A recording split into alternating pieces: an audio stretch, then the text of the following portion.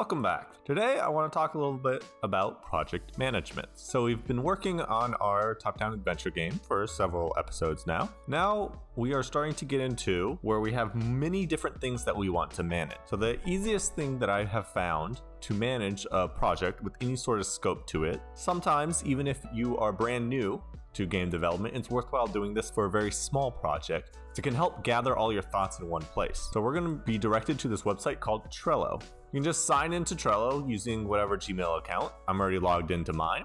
And this is the board that I have set up for the top-down adventure game. You can add these lists right here by clicking on add another list and just typing in whatever as the title, as you can see.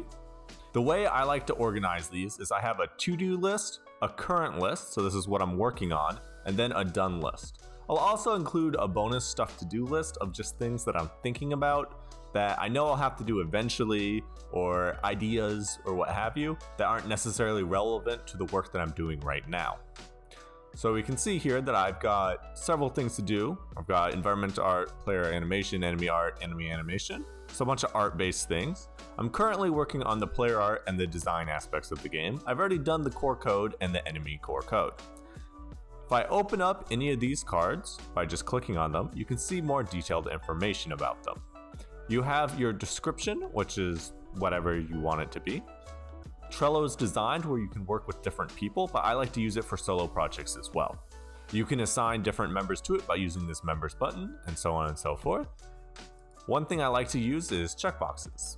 So for instance, if I grab this checklist from my mechanics, my core mechanics card, you can see these are the options. Now on my monitor, it's very hard to see, but there are in fact checkboxes right here that you can cross off and keep track of what you're working on. You can delete your checkboxes as well. The way to add a card is simple, just add card, type the name of it, and then click on it to open it up and you can edit it. These are the cards of stuff that we've already done for our videos, our diagonal movement, our bow attack, so on and so forth. We also have our state machine framework, our patrol state, and our attacks. This is how I recommend staying organized on a project. It makes it a lot easier. Plus you get the added satisfaction of just checking off things and seeing, being able to drag stuff over to your done column when you are done with them. I hope you found this interesting. Please hit the like and subscribe buttons, comment below if you have any questions, and I'll see you in the next one.